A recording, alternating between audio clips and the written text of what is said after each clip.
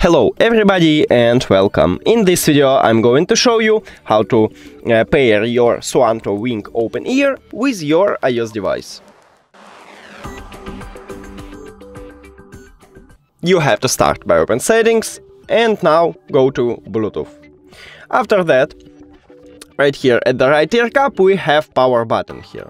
So press and hold it for at least 5 seconds, because if you press and hold it for 3 seconds it just turn on, but we should enter to pairing mode.